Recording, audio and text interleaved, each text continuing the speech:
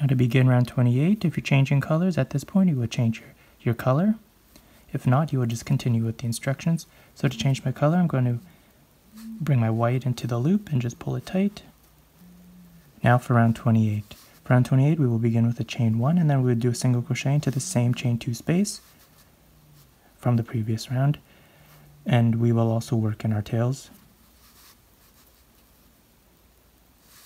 We will chain 1, and we will skip the next 9 stitches and work in the 10th stitch a single crochet. The tails we don't have to bring with us, you can leave them there. So you know if you're doing it correctly, if the middle one here, the center one is number 5, then you've counted it correctly, 4 on each side, 5 at the middle. And then the 10th one we will do a single crochet. After the single crochet we will chain 3, then we will skip the next stitch, work in the next one a single crochet, then we will repeat, chain 3, skip the next stitch, work in the next one a single crochet. And then we will chain one.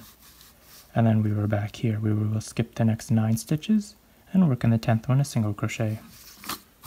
So that's the pattern all the way around for round 28 we will after we do a single crochet chain one we will skip the next nine stitches. In the 10th one we'll do single crochet chain three skip the next one work in the next one single crochet chain three skip the next one work in the next one single crochet chain one and then we will skip the next nine and work again. So that's the pattern all the way around. I will meet you at the end of this round. At this point, you can cut your second color if you have a second color, because we are now done with the blue. So for the remainder of this doily, we are not going to be changing our colors anymore. I'm going to continue working with my white. So here we are at the end of the round 28 to finish it off. I will do my last single crochet, and then we will are here to join. We will do a chain one, and do a half double crochet into the beginning single crochet of the round.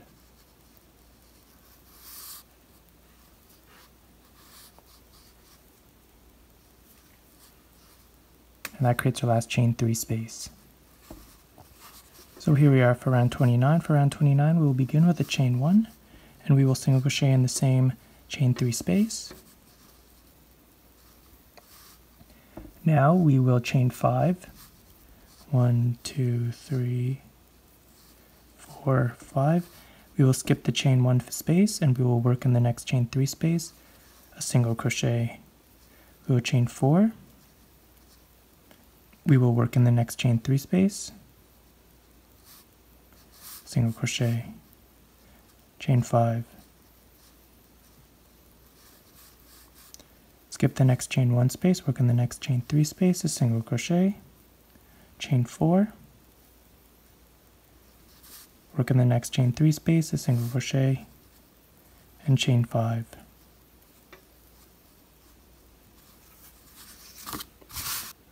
So that's the pattern for this round. After we chain 5, we will skip the next chain 1 space, work in the chain 3 space, a single crochet, then we will chain 4, and single crochet in the next chain 3 space, then we chain 5, skip the next chain 1 space, and work in the next chain 3 space, a single crochet, chain 4, and repeat all the way around. I will meet you at the end of this round. Here we are at the end of round 29 to finish it off. I have my last single crochet in this final chain space. Now I'm at the beginning chain space. To connect it, I will chain 1 and do a double crochet into the beginning single crochet.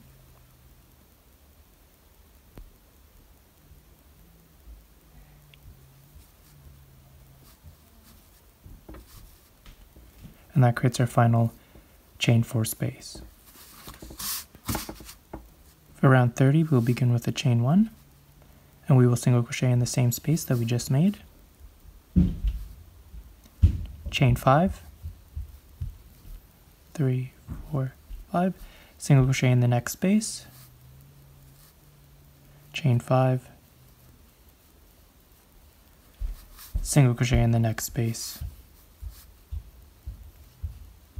Chain 5.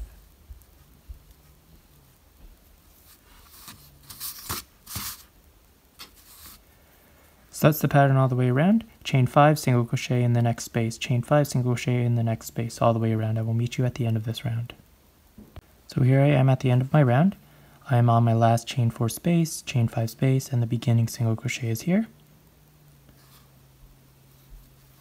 So I did my chain 5 and I'm going to do my single crochet in the next chain 4 space. At this point though I'm going to also mark my stitch. So I'm just going to take a piece of string, wrap it around my hook,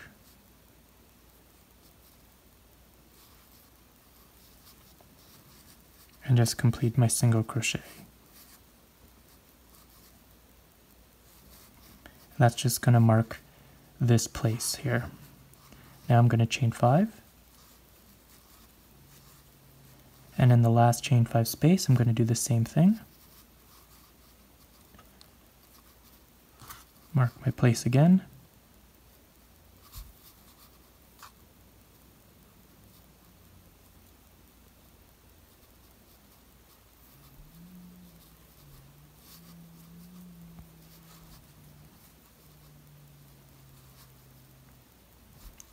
and complete a single crochet.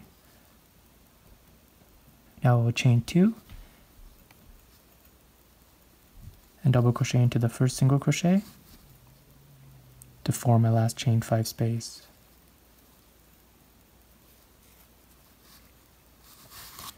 Piece will look like this so far. At this point as well, I'm going to insert another stitch marker and just tie it around here loosely to mark this last stitch.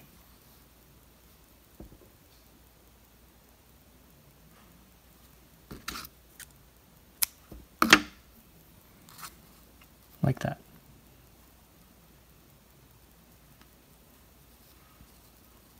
So here we are for round 31. For round 31, we will begin with a chain 1 and we will single crochet in the same chain space that we just created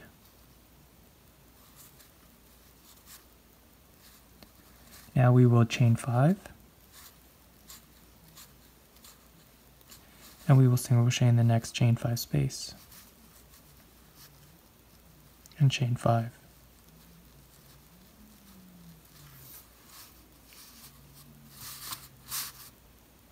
So that's the pattern all the way around for round 31 and for round 32. For round 31 and 32, they're both going to be the same pattern chain 5, single crochet in the next chain 5 space, chain 5, single crochet in the next chain 5 space. Now when you get to the end of round 31 and round 32, when you finish your last single crochet here, because this is the beginning one here, where we did our first single crochet, when you finish your final one, you will chain 2 and do a double crochet into the beginning single crochet to complete your chain 5 space. Then for round 32, that's the end of round 31. For round 32, you will do the same process, chain 1, single crochet into the same space that we just created, and then chain 5, single crochet in the next chain 5 space, chain 5, single crochet in the next chain 5 space, all the way around, and then when you get to your final chain 5 space, you will single crochet in there, chain 2, and then do a double crochet into the beginning single crochet to form your final chain 5 space. So that's the pattern all the way around. I will meet you at the end of round 32. So you will do 31, which is what we are on now, and then you will do 32, and at the end of 32, I will meet you here. So here I am at the end of round 32. To connect it, I will chain 2 and do a double crochet into the beginning single crochet.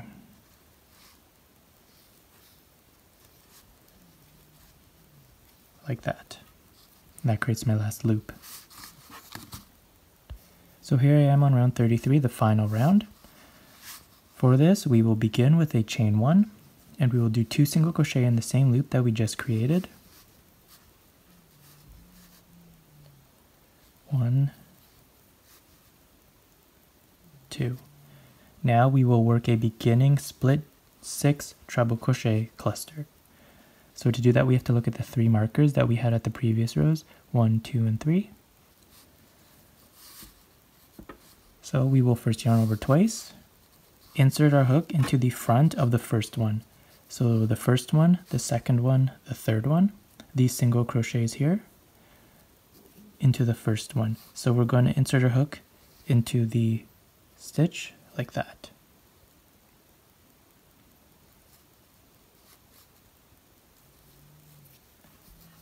So yarn over twice, insert your hook into the first one, to the stitch, yarn over, pull loop through, four loops on hook, yarn over, pull through two, yarn over, pull through two. And we're going to do that once more. Yarn over twice, insert your hook into the same stitch. Pull loop through. Five loops on hook, yarn over, pull through two, yarn over, pull through two. Now we have three loops on our hook. So now we're going to work into the second stitch right here, the second one. The same thing, so yarn over twice, insert your hook into that stitch, yarn over, pull through. You have six loops on hook, yarn over, pull through two, yarn over, pull through two. I'm going to repeat that yarn uh, one, one more time, yarn over twice, insert your hook into the same stitch, pull loop through. You have seven loops on hook, yarn over, pull through two, yarn over, pull through two. Now you have five loops on your hook. Then we're going to do it for the last one here. Yarn over twice, insert your hook into the last marked stitch, pull loop through, yarn over, pull through two, yarn over, pull through two, yarn over twice, insert your hook into the last mark stitch again, the same one, pull through two, pull through two.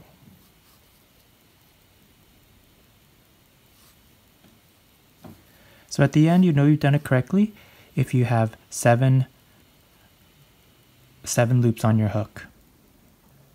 And one, two, three, four, five, six, six legs and seven loops on your hook. You're going to yarn over, pull through all seven loops. Now we're going to single crochet in the next chain five space. So the first one right here we did already. The second one is this empty one here. We're going to do two single crochet into there. One, two, like that. Now we're going to work a two double crochet cluster in the next single crochet. So the next single crochet right here, two double crochet clusters. So yarn over once, insert your hook into that single crochet, pull loop through, three loops on hook, yarn over, pull through two. Yarn over, insert your hook into the same stitch, pull loop through, four loops on hook, yarn over, pull through two, three loops on hook, yarn over, pull through all three loops. After our two double crochet cluster, we are going to chain two, one, two, and we're going to do a picot. So in the picot, we're going to take this, see this top stitch here of our two double crochet cluster. In the front loop, the one that's facing us, we are going to do a slip stitch like that for the picot. So after we do our picot, we will chain one, and then we will repeat in the same single crochet stitch, yarn over, insert your hook, pull loop through, yarn over, pull through two, yarn over, insert your hook, pull loop through, yarn over, pull through two, three loops on hook, yarn over, pull through all three loops. We've done a two double crochet cluster, now we're going to do a picot, chain two, into the top of the two double crochet cluster, the front loop, we will do a single crochet, a slip stitch. Chain one, and we're going to do that one more time into the same stitch. So we're going to have three picots, three picots and three two double crochet clusters in this same single crochet. Yarn over, insert your hook into the single crochet, pull loop through, yarn over, pull through two, yarn over, insert your hook, pull loop through, yarn over, pull through two, three loops on hook, yarn over, pull through all three loops. Chain two, and do a slip stitch into the top of the two double crochet cluster, the front loop, and there we have it, the third one. Now we're going to do two single crochet in the next chain five space. One, two, and then we are going to do our six treble crochet cluster. Now after we do our two single crochet in the chain five space, we are working on a our six treble crochet cluster once again. So the three stitches we're going to work that into is the same stitch that we did our last six treble crochet cluster in. So that's single crochet, the last one here. We're going to do our first one. The second one will be the next one. And the third one will be the next one. So those are the three stitches we're going to be working our cluster into. And just to clarify, we're not going to be working our clusters into the top single crochet. So we have a single crochet at the top here and one below it. It's the one below it, this row, row 30, that we're going to do our single crochet, that we're going to do our clusters into these single crochets here. Okay, so not the top, not the top ones, but the ones below it, all the way around. So we're going to start with the one that we have our last leg into. Then we're going to move on to this one, and this one will create our clusters.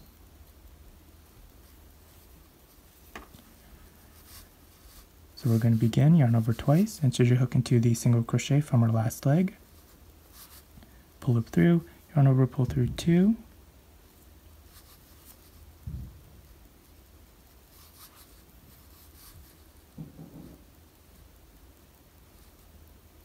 yarn over, pull through two, one more time, yarn over twice, insert hook into the same stitch, yarn over, pull through, yarn over, pull through two, yarn over, pull through two. Should have three loops on hook. Now we're going to move to the next single crochet, yarn over twice, insert your hook into the next one. Pull loop through, yarn over, pull through two, yarn over, pull through two. One more time, yarn over twice, insert your hook into the same stitch, yarn over, pull through, yarn over, pull through two, yarn over, pull through two. Five loops on hook. One more time into the next single crochet, yarn over twice, insert your hook into the last one, pull loop through, yarn over, pull through two, yarn over, pull through two, yarn over twice, insert your hook, pull loop through, yarn over, pull through two, yarn over, pull through two. And you should have seven loops on your hook. Now you will yarn over and pull through all seven loops. You should have seven loops and six legs. And now we're going to do two single crochet in the next chain five space, which is here. So it's this one right here. Okay single crochet, two single crochet, one, two, and now we will do two double crochet cluster and a picot, chain one, for a total of three times in the next single crochet. So the next single crochet at the top here, okay? Like this.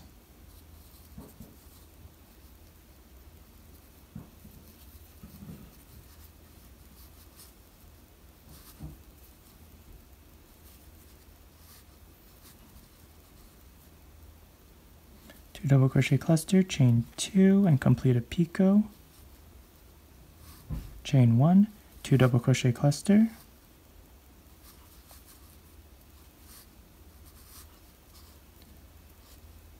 chain two, complete a picot, chain one, and final third two double crochet cluster. Chain two, and a picot. And of course the last one we do not do a chain one, instead we single do two single crochet in the next chain five space. One, two, like that. And now we're back at our six treble crochet cluster where we will do the first one into the same single crochet as the last legs of our last treble crochet clusters. So into there, that single crochet, the first one, the second one will be here in this single crochet, and the third one will be in this single crochet here. Okay? So that's the pattern all the way around. After we do our two single crochet in the chain five space, we are ready at our six treble crochet cluster. We will do the first two legs in the first single crochet, the second two legs in the second single crochet, the third two legs in the third single crochet. We have seven loops on our hook, yarn over, pull through all seven loops, and that'll create this and then we will do two single crochet in the next chain five space and then we're at our single crochet here at the very top. We will do three two double crochet clusters with a picot on top and a chain one in between. Two double crochet cluster picot chain one. Two double crochet cluster picot chain one. Two double crochet cluster picot the last one we do not do a chain one. Instead we do two single crochet into the next chain five space like this. And then after that single crochet, we are at our cluster once again. So that's the pattern all the way around. I will meet you at the end of this round. So here I am at the end of my round, and it looks like this. Now I'm never too sure if I did something wrong with this round or not, but if yours looks like mine, this is how I'm just going to fix it. We have everything completed so far, we just have this small space over here that's not enough to fit a full six treble crochet cluster. So what I'm going to do is I've done my last picot. I'm going to slip stitch into the next two of our beginning single crochet. So the first one is slip stitch and the second one is slip stitch.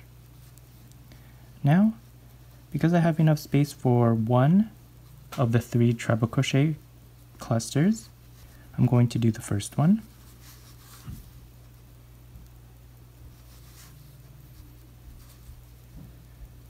Through two, pull through two, and one more time.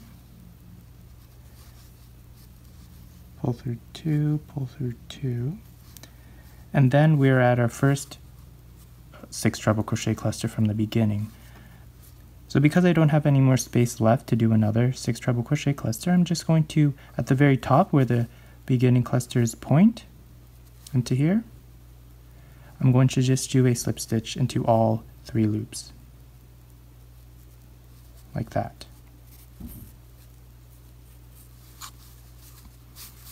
And that'll secure it.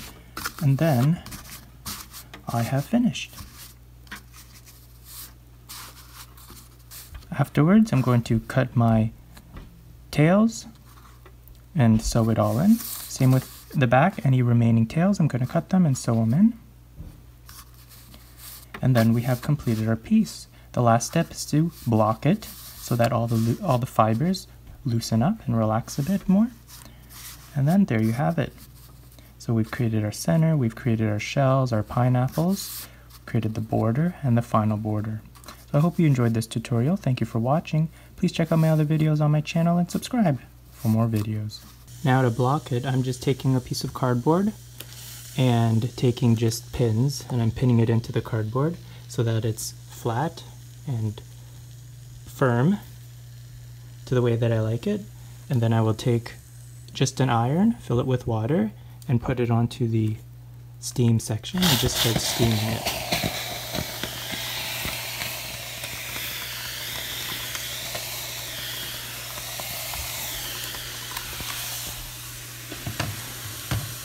and then that will loosen up the fibers. And when I'm done, I will take it off. Once it's dried, then it'll be good to go. So there are many ways to block it. This is just how I block it.